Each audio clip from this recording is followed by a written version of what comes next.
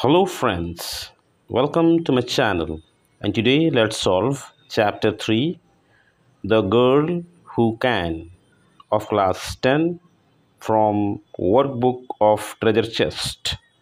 So here mostly I'll discuss about the given assignments of this particular chapter. So let's begin.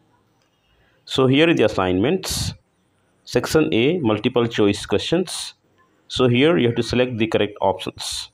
So the first one, name the figure of speech in she carried the gleaming cup on her back like they do with babies and other very precious things. Here option A could be taken, metaphor. Second, who are referred to as they who describe the birthplace of the narrator. Here option B could be taken, the village community. Next number 3.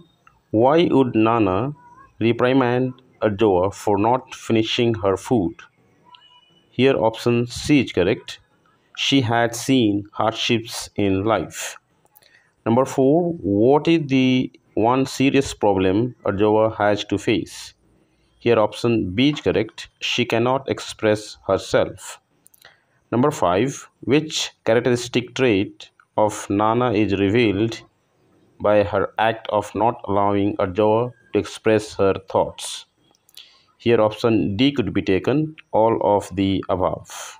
Next number 6. The narrator wanted to tell her grandmother and mother not to worry about which of the following. Here option B could be taken, her thin legs. Number 7. According to the narrator's grandmother, what was the biggest problem? Here option B is correct. Her granddaughter's spindly legs. Number 8. Why did the narrator want to see the legs of other women who had children? Here option A is correct to compare them with her own thin legs. Number 9. Which of the following statements is not correct? Here option C could be taken Adjoa complained about the long distance to school. Number 10. What was Nana's view initially about school? Here option A could be taken, a waste of time. Number 11. What kind of clothes did Adjoa's grandmother wear every afternoon while visiting the town for sports meet? Here option C could be taken, fresh old clothes. Next number 12. What were Nana's feeling while carrying the cup won by Adjoa for the best all-round junior athlete? Here option A could be taken, proud of Adjoa's achievement. Number 13th, choose the option that lists the sequence of events in the correct order.